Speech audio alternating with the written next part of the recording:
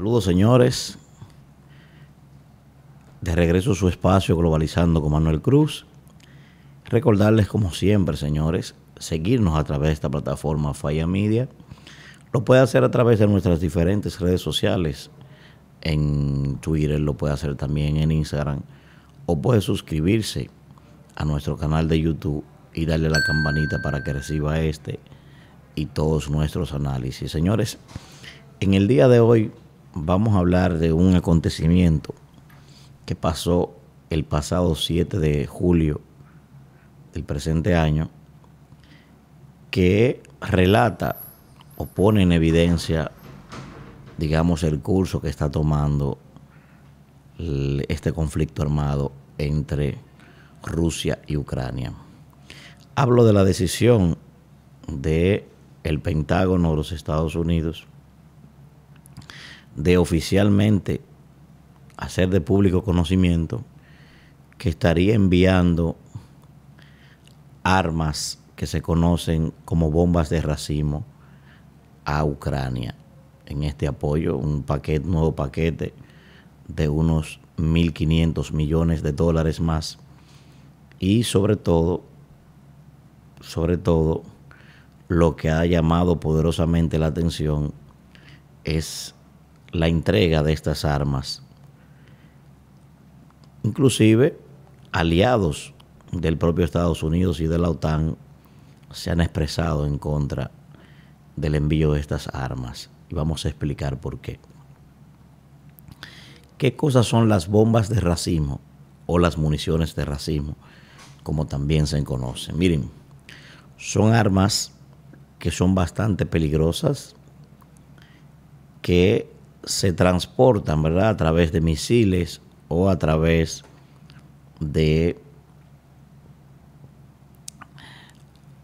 artefactos que la pueden, la pueden poner a correr. Pero qué cosa, ¿por qué se le llama armas de racimo o municiones de racimo? Bueno, imagínense un racimo de guineo o imagínense un racimo de limoncillo. Estas bombas de racimo, ¿verdad? Que ya dije que se pueden trasladar en un misil, regularmente son armas que van en un misil, pero que tienen submuniciones, eh, que hacen lo mismo que hace como si usted una vez caen al suelo o tienen contacto con algún objeto, se dispersan en grandes cantidades. Se prevé que estos misiles pueden llevar hasta 600 submuniciones de estas. ¿Cuál es el peligro entonces? Bueno, que esto representa una situación de bastante conflictividad y peligro para la población civil, como se ha probado.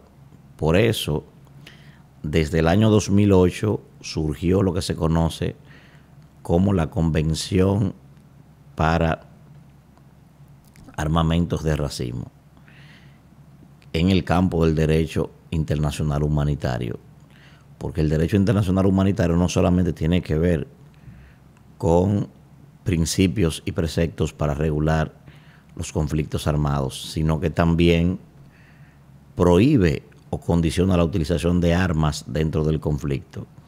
Entiéndase que están prohibidas, por ejemplo, eh, los lanzallamas, están prohibidos, por ejemplo, las trampas de minas y también están prohibidas oficialmente desde el año 2010 en que entró en vigencia esta convención a la que he hecho mención, las llamadas armas de racimo o bombas de racimo.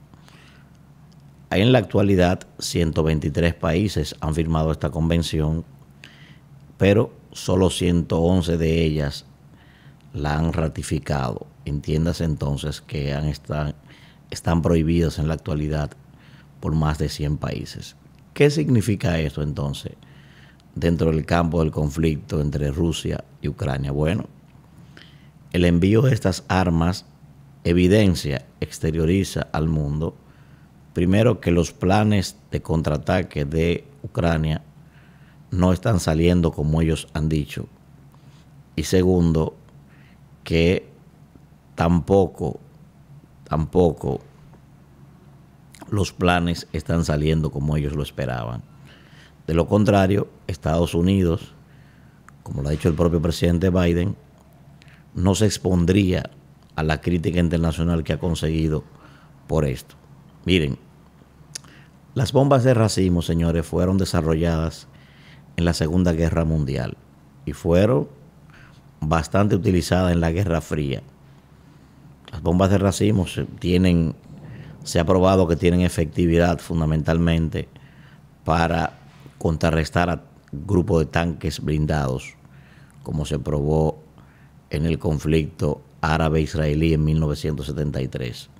Las bombas de racimo se han utilizado en Siria, en Yemen, en Irak, en Laos, en Vietnam, eh, ahora en Rusia y Ucrania, inclusive países que han ratificado la Convención contra armamentos de racismo participaron en la utilización de estas armas, como es el caso de Gran Bretaña, que participó en Irak conjuntamente con Estados Unidos. Y esto, ¿por qué la prohibición taxativa de estas armas, señores?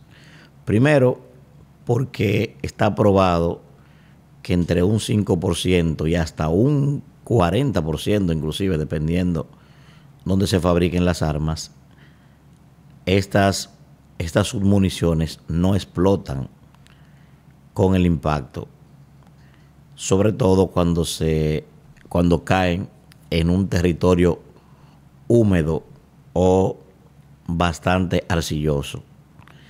¿Qué pasa entonces?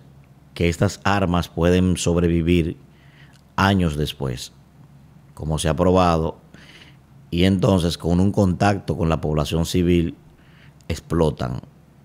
Eso, varias fundaciones, organizaciones internacionales que se dedican a la investigación han dicho que por lo menos el 92% de las armas de racimo que han explotado tiempo después de un conflicto han matado a civiles. Y esto es bastante peligroso. Para que usted tenga una idea, se ha cuantificado de que en la guerra de Vietnam el 52% de las armas de racismo que explotaron, todas ellas explotaron después, cinco años después de haber finalizado la guerra. Para que usted tenga una idea de lo que estamos hablando. Y por eso, además, estamos hablando de armas bastante poderosas, señores. O sea, un misil cargado de armas de racismo, ¿verdad? Cargado de estas bombas, puede afectar sin ningún tipo de problema a un espacio que comprenda varios campos de fútbol sin ningún tipo de problema. Para que ustedes tengan más o menos una idea de cuál es el daño que puede cuantificar esto, que puede causar esto. Entonces, ¿qué ha pasado? Estados Unidos ha anunciado que va a enviar estas bombas a Ucrania para que Ucrania se defienda. Primero pone en evidencia ya claramente que no es un interés de Ucrania, como lo hemos dicho en otros momentos.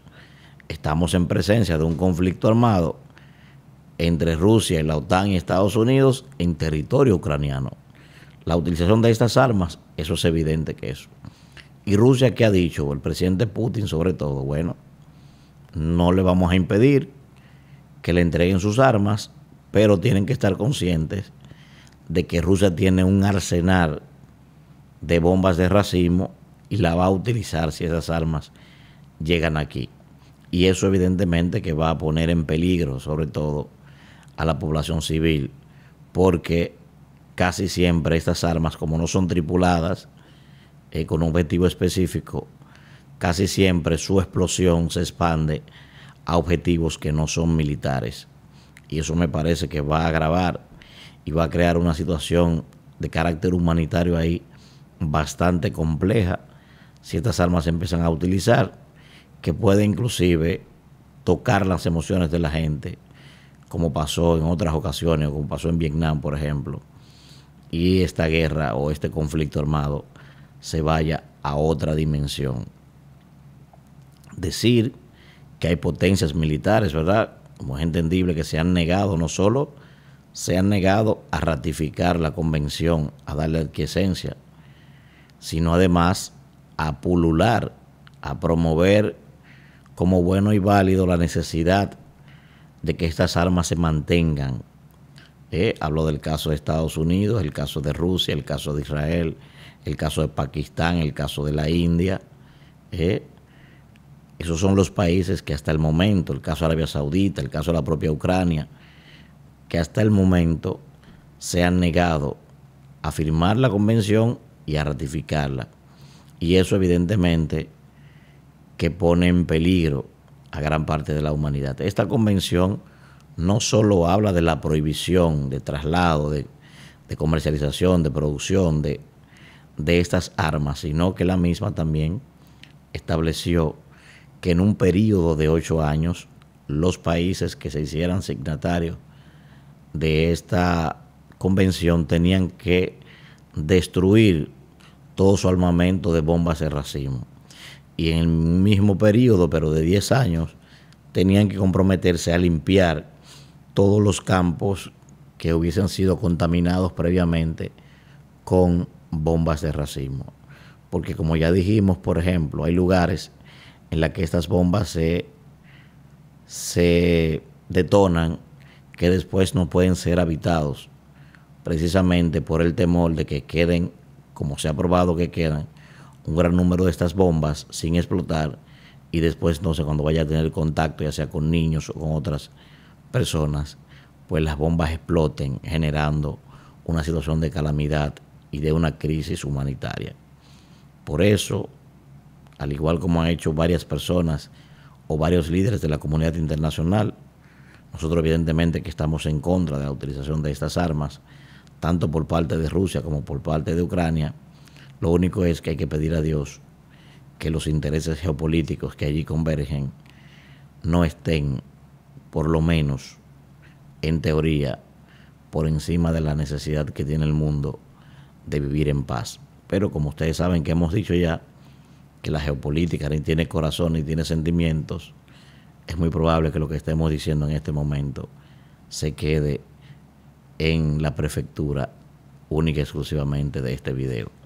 Ustedes recuerden seguir su espacio globalizando con Manuel Cruz, que le vamos a estar dando seguimiento a todos estos casos a través de esta plataforma Falla Media, suscribiéndose en todas nuestras redes sociales y nos vemos en la próxima.